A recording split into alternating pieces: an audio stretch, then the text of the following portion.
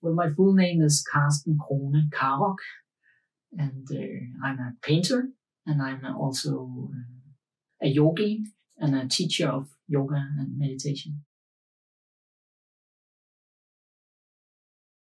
Mm, I guess it was a little bit by accident.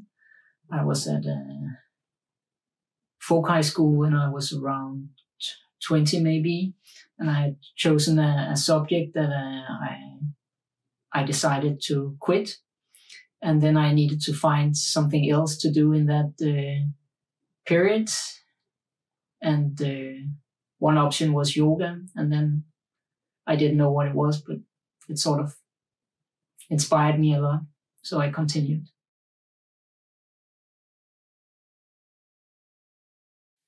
when I was involved with the, the yoga school where I did my training or most of my training, they had pictures uh, in the rooms where living room and the yoga room and all the rooms there were different paintings and somehow they were related to to yoga at least to some degree. Some of them were made by a painter called Sohan Quadri, which is a well was a personal friend of Swami Janakananda. Uh, and there were also paintings by modernist masters like Paul Klee and Mark Rothko. And they're not directly related to yoga, but somehow they are anyway.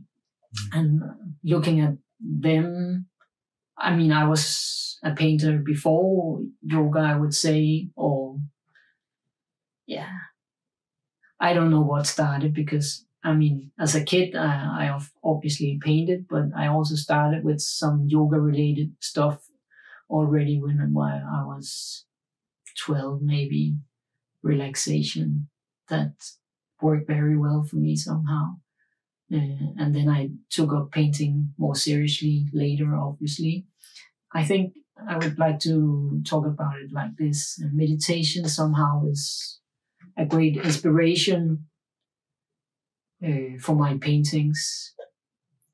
Mm. When I meditate, uh, the mind gets very creative. Mm-hmm. Uh, and that's not only my experience, that's an experience of many people and somehow ideas pop up out of nowhere nearly or of course maybe from the unconscious because of course it needs some material to draw from mm-hmm. um, and since i'm interested in painting material uh, related to that pops up and i get ideas and um,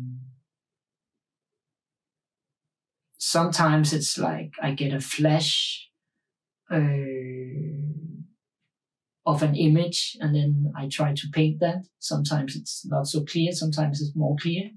That's one way I, I get inspired by, meditation, uh, but also more conceptually uh, from looking at tantric art. Uh, I get inspired by the power that I see in those pictures and want to make pictures myself with the same kind of power, I would say. Well, it differs. As I said, sometimes uh, I get a an idea out of the blue. It can be when I meditate, but also when I bicycle or I see another image and then I want to make something somehow inspired by that. But another way to work with it is also I sit and draw. Maybe I decided I wanted to draw something with triangles, and then I sit and play around, and somehow uh, something grows from that. I may make one sketch that doesn't really work, then I make another one, and I kind of work my way into something I, I want to work with. And also when I start painting, uh, I'm not really sure where I want to go. I pick a color and then I see what happens. And then I decide after that, okay, what needs next. Sometimes I have a strict plan. Sometimes it's very playful.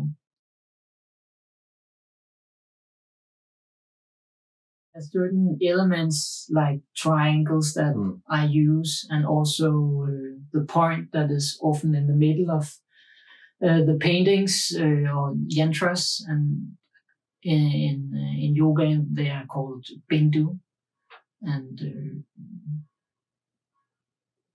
like in in meditation they're they're uh, a symbol of a kind of focus point, you could say, or actually the light of awareness, prakasha, like where the the awareness flows from, you could say.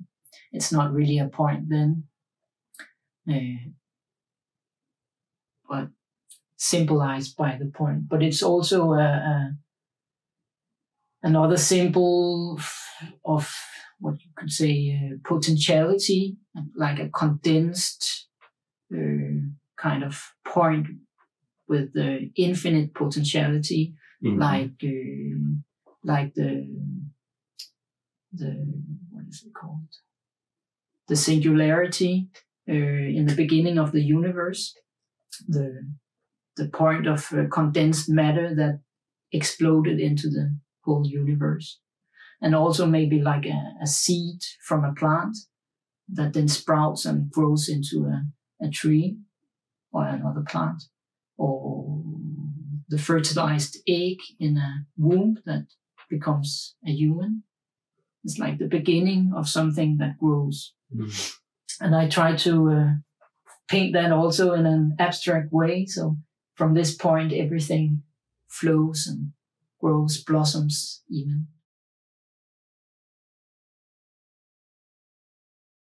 Sure, if you feel drawn to it, I think it's very possible. At least uh, formally, there's the bindu you can focus on, so why not? Uh, but I'm also very interested in in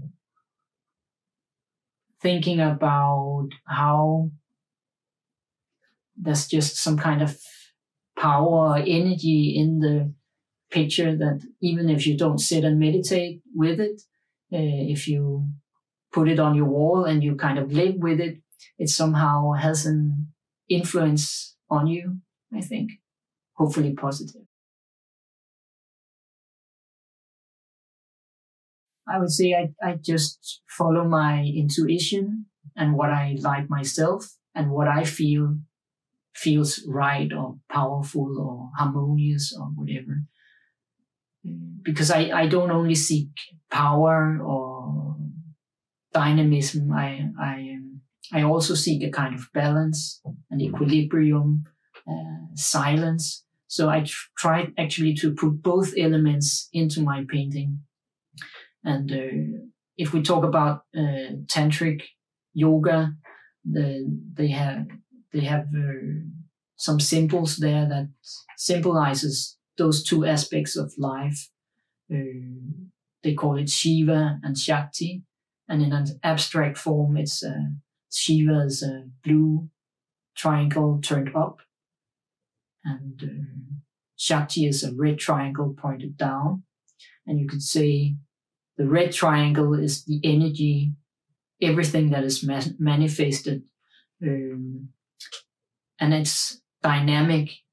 Everything that manifests also it has a beginning and an end, so in that way it's not stable. And a downward pointed triangle is not stable. Hmm. That's how we experience it. It's on its point, and then it's not stable. But the other one, Shiva, the blue one, is is kind of stable. Hmm. That's consciousness, or the what what you're saying? Yeah, uh, See- our own true nature. So, or stillness, this calm thing. So, I try to put both in, both the energy. So o- often, like there's a spiral movement to some degree, at least in in the paintings, uh, symbolizing this unstable or moving thing, and then there's the bindu that symbolizes on the emptiness in the middle that symbolizes the stillness.